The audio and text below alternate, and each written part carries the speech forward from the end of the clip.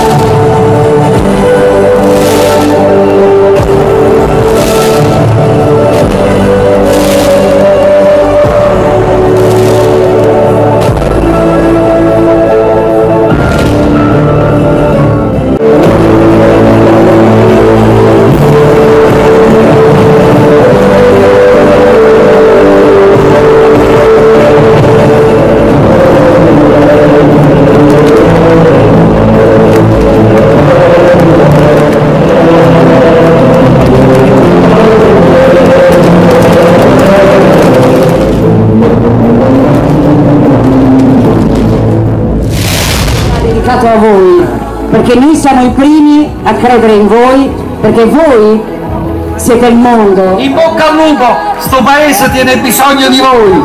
Ciao! Sole.